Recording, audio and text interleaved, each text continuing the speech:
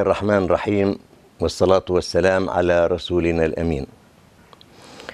الإخوة المشاهدين والأخوات المشاهدات مساء الخير لكم جميعا.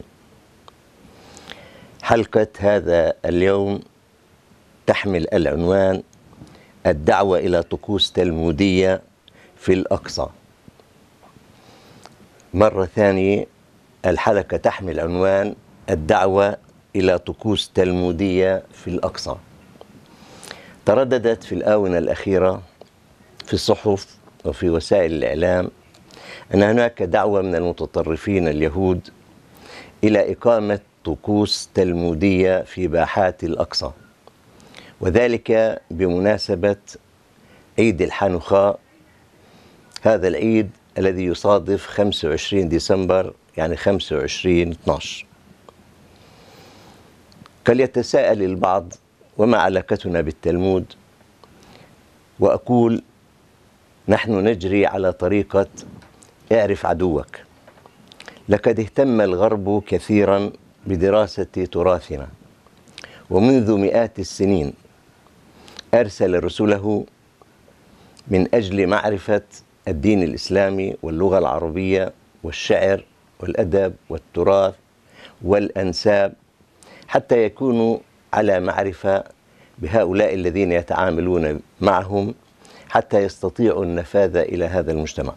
وللأسف استغل الاستعماريون في الدول الغربية معرفة المستشرقين والمبشرين استغلالا مقيتا واستخدموه في بلادنا لإثارة الفتن والطوائف كما تعلمون.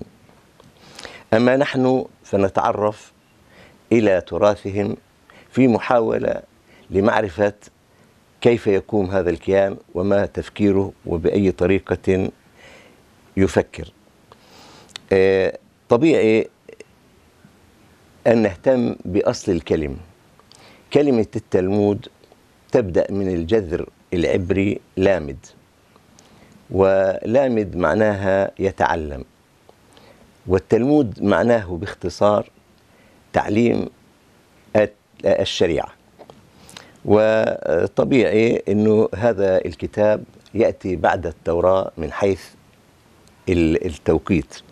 يعني جاء بعد التوراة بقرون وهو كتاب ضخم وأحيانا يتألف من عشرات المجلدات. هذا الكتاب باختصار يجمع الروايات الشفوية المتعلقة بالنبي موسى. ولكن عليها زيادات وزيادات كثيرة جدا حتى نستطيع أن نقول عنه أنه موسوعة تراثية لليهود. والتلمود حسب ما نعلم نوعان التلمود الفلسطيني وبعضهم يسميه الأورشليمي والتلمود البابلي يعني التلمود الذي كتب في فلسطين والبعض يسميه أورشليمي والحقيقة أنه فلسطيني لأنه لم يكتب في القدس لأنه ما كانت في القرون الأولى بعد الميلاد أي مدارس دينية لتسجيل ما جاء في التلمود ولكن كان في يبنى وفي صفوريا وفي طبرية فكتب التلمود الفلسطيني. لكن التلمود الأكبر والأعم والأضخم هو التلمود البابلي الذي كتبه حاخامات اليهود في بابل جنوب العراق. وما علاقة بابل الموضوع؟ الكل يعلم أن نبوخذ نصر القائد البابلي الشهير قد هاجم مملكة يهوذا وأسقط هذه المملكة ودمر القدس والهيكل سنة 586 قبل الميلاد. وسبى من اليهود ما يقرب من خمسين ألف. هؤلاء كان بينهم حاخامات وأخذوا يتذكروا الروايات الشفوية لمن سبقوهم وبدأوا بتدوين ما صار يعرف باسم التلمود. طبعا كما قلنا باختصار التلمود هو الشريعة الشفوية المنقولة عن موسى ولكن عليه إضافات وشروحات وتعليقات سنأتي عليها. باختصار يمكن أن نبين أو أدلل على العلاقة بين التلمود والتوراة كالعلاقة بين الحديث الشريف وبين القرآن مع الفوارق طبعا الكثيرة ومن جوانب عديدة جدا. لكن تكاد تكون العلاقة هكذا أن التلمود يكاد يكون مكملا للتوراة. والتلمود حتى يكون واضحا لدينا عبارة عن قسمين رئيسيين. الأول اسمه المشينا المشينا بمعنى المثنى أو المكرر وتعني الشريعة المكررة يعني المعادة والمكتوبة ثانية. وهذه عبارة عن شروح وتفسيرات كثيرة جدا جدا ومطولة حول التوراة وحول موسى ولكن كلها من وضع الحاخامات الذين ظهروا في القرون الأولى بعد الميلاد. وهؤلاء يسموهم بالعبرية تنائيم.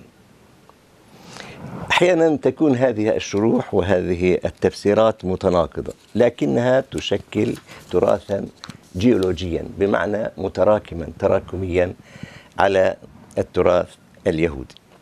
القسم الثاني ويسمى الجمراء الجمراء وضعت ما بين 220 ميلادي إلى 500 ميلادي يعني ما بين القرن الثالث والقرن الخامس السادس الميلادي. والجمراء عبارة عن الإضافات. التي وضعها الحاخامات عبر مئات السنين. وهؤلاء الحاخامات يسموهم مورائيم. هناك تنائيم هنا مورائيم. هؤلاء كانوا مهتمين بإضافة كل ما يرونه ضروريا لهذا الكتاب. ما هي منزلة التلمود عند اليهود؟ هل هو بمستوى التوراة؟ في البداية طبعا كانت الأهمية للتوراة. ككتاب مقدس أنزل على آه، موسى النبي وهو كلام الله. لكن فيما بعد بدأ التلمود الذي وضعه الخامات الحاخامات يوازي في أهميته وقدسيته التوراة حتى بدأوا يصفوه بالكدوش يعني المقدس. وهو يعني بأمور عديدة ولا أول لها ولا آخر. وجاءت منزلة التلمود وقدسيته من المنزلة التي أعطوها لأنفسهم في هذا الكتاب أعني الحاكمات الذين قالوا فضفوهم أن الله في السماوات يستشير الحاخامات في بعض المسائل الصعبة. هكذا وصلت الأمور بهم. أقول أنهم اهتموا بالتلمود اهتماما كبيرا لسبب يخدمهم. ذلك أن التوراة اعترفت بها أوروبا المسيحية واعتبرتها العهد القديم والإنجيل هو العهد الجديد. يعني هناك صلة وثيقة بين العهدين القديم التوراة والجديد الإنجيل. يريد اليهود أن يتميزوا ولا يريد أن يكون لأحد علاقة بتراثهم. لذلك فالتلمود لا علاقة للمسيحية به وعلى هذا الأساس التلمود يعزز استعلائيتهم ويعزز عنصريتهم وانعزاليتهم أيضا. أما أوروبا فلم تعرف التلمود إلا مع القرن الثالث عشر وقد حاربته بشدة لما جاء فيه من لغط على السيد المسيح ومن آه، افتراءات ومغالطات على المسيحية بصورة عامة. لو أردنا أن نصف هذا الكتاب نقول أنه في رأي اليهود وبالذات في رأي الحاخامات القدامى والمحدثين أنه كتاب جامع مانع فيه كل ما يلزم لليهودي ويغطي كل جوانب حياة الإنسان اليهودي. هذا الكتاب الذي نتحدث عنه وهو الكتاب الجامع المانع كما قلنا هناك عبارة فيه تقول كل بو كل شيء فيه. كل بو يعني كل شيء فيه. وبالتالي يتحدث الكتاب عن الدين وعن الزراعة وعن الصناعة وعن الصيد وعن الرقيق وعن الزواج وعن السحر والتنجيم والتاريخ. كل شيء. كل ما كان يخطر على بالهم يدونوه في هذا الكتاب وبالذات في الجمرات اللي هو الإضافات وطبعا كانوا يعطوه شيء من القدسية فكنا كانوا يقولوا عنه أنه كدوش. ومن جملة ما ورد في مدح التلمود أنه لا خلاص لمن ترك التلمود واشتغل في التوراة. لا خلاص لمن ترك التلمود واشتغل بالتوراة. يعني شيء شبيه بالشيعة بيعتبروا أنه الحج إلى مكة مهم ولكن لا يجدي بدون الحج إلى كربلاء وزيارة الحسين. طبعا مع الفوارق.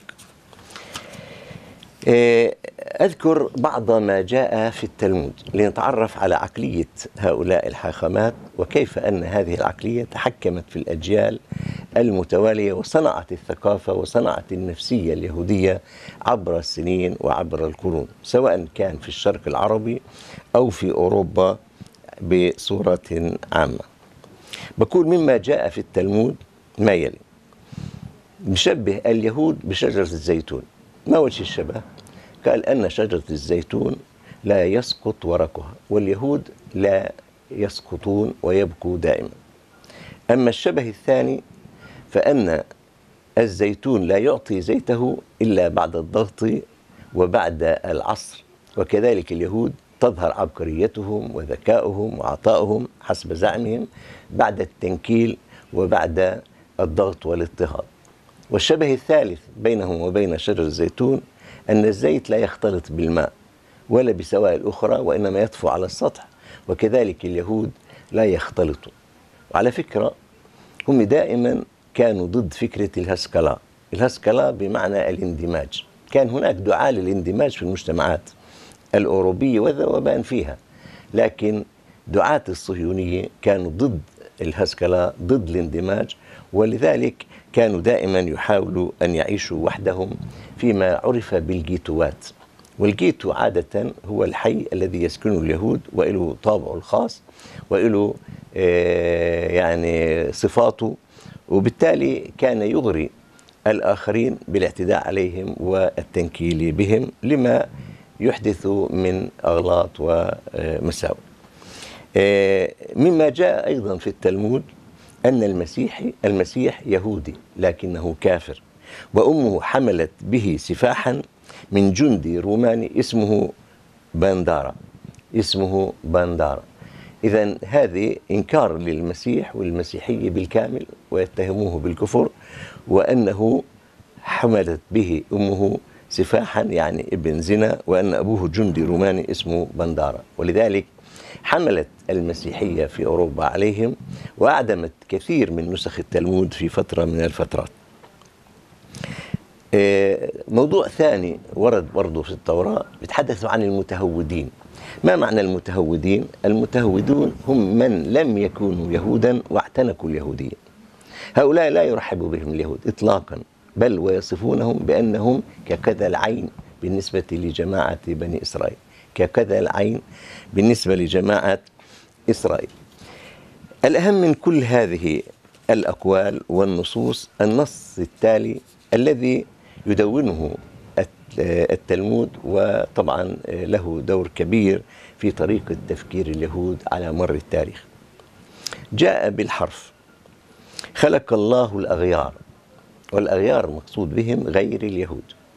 وهناك عبارة ثانية أو كلمة بديلة عندهم بالعبرية جويم جويم يعني الآخرين الأغيار. إشارة فيها نوع من الاستعلاء على الآخرين.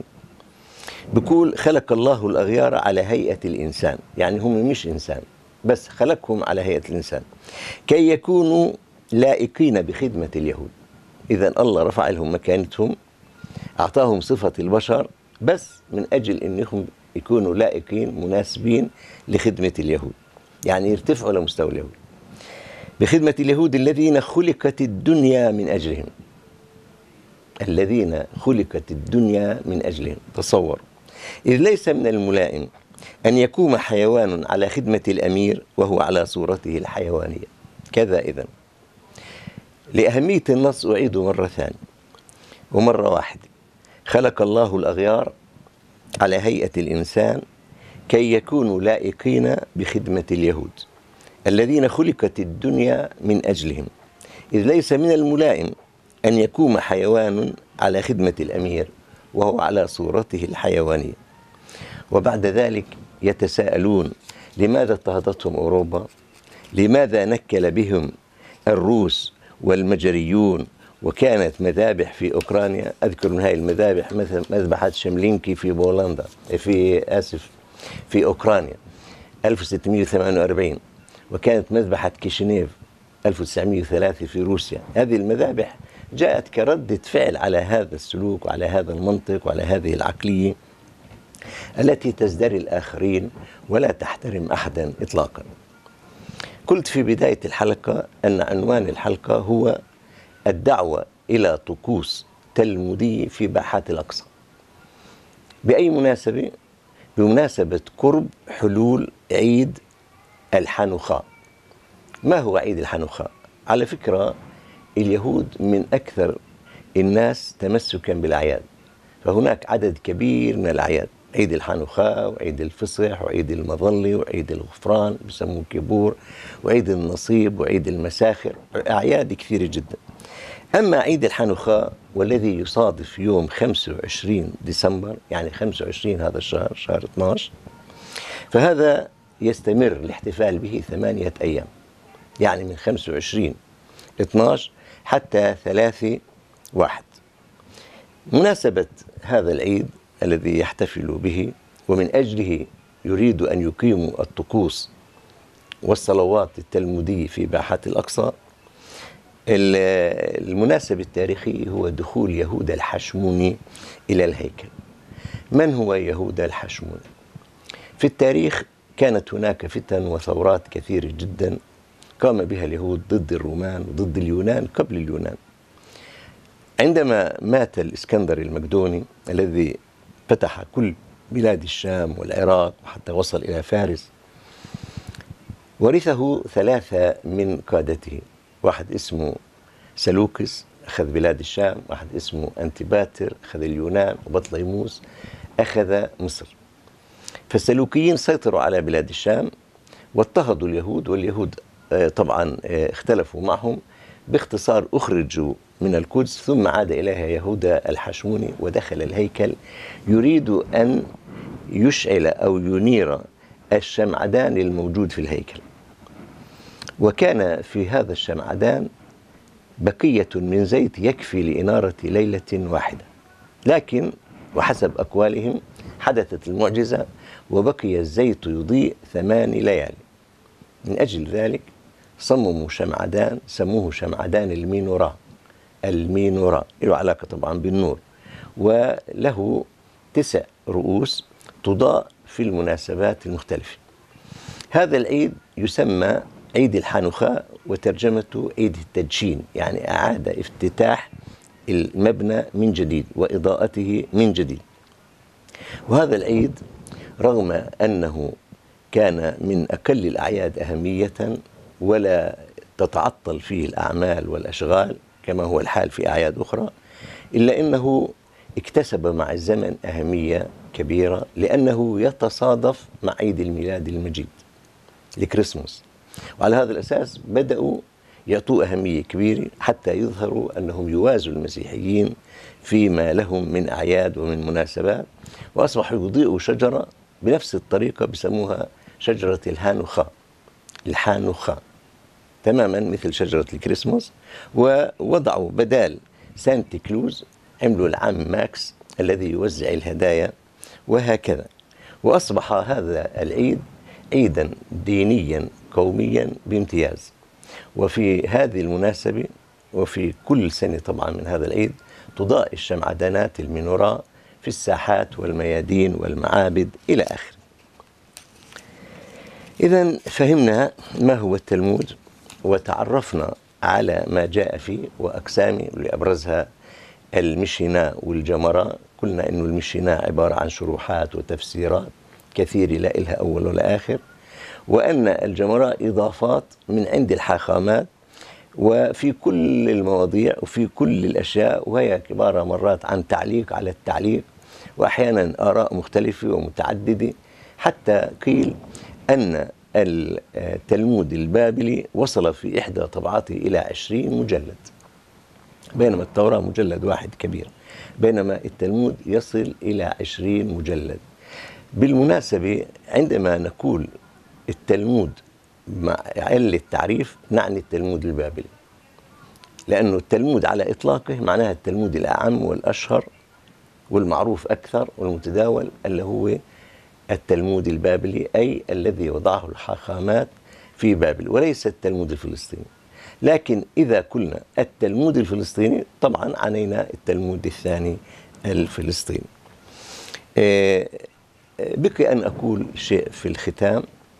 أنه آه، لماذا إقامة هذه الطقوس في باحات الأقصى بالذات؟ طبعا لا يخفى على أحد أن هذه محاولة أخرى وأسلوب آخر وجديد من أجل تهويد القدس وتهويد الأقصى وبالتالي آه، تزييف التاريخ تزييف التراث تزوير الحقائق كما هو حالهم دائما. وطبعا سبق وتحدثنا عن تهويد القدس وعن عبرنة الأسماء في القدس وشوارع القدس ومعالم القدس ككل. وطبعا من وسائلهم للتهويد الآن للأقصى إقامة مجموعة كبيرة من الكنس تحيط بالأقصى حتى يخيل للزائر للسائح من بعيد أن هذا مكان يهودي بامتياز. لكن أقول لن يفلحوا أبدا لأن الأقصى سيبقى أبد الدهر ما بقي الناس وما بقي أهله المرابطين فيه والمدافعين عنه. وأستشهد على ذلك بموضوع أكثركم يسمع بجامع قرطبة الكبير. قرطبة كانت عاصمة الأمويين في الأندلس المدينة الأولى. وأقام فيها عبد الرحمن الداخل جامع قرطبة الذي بدأه كأكمله عبد الرحمن الثاني ثم عبد الرحمن الثالث المسمى بالناصر والذي أعلن نفسه خليفة. هذا الجامع كان يقوم على 1485 عمود. تصور 1485 عمود. وله محراب شهير جدا. أنا شاهدته في زيارتي لقرطبة كان المسيحيون بعد ما طردوا العرب وسقطت غرناطة يريدوا أن يغيروا معالم المكان. فأنا رأيت بأم عيني أنهم وضعوا فيه كنيسة في جزء منه ولكن ظل الأقصى.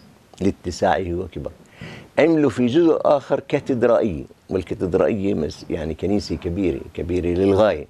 ومع ذلك كل من يدخل قرطبة الجامع كل ما يتفرج على أبوابه الست من الخلف أو مدخله أو محرابه أو أعمدته أقواسه يرى ويتأكد أن هذا أثرا إسلاميا عربيا بامتياز.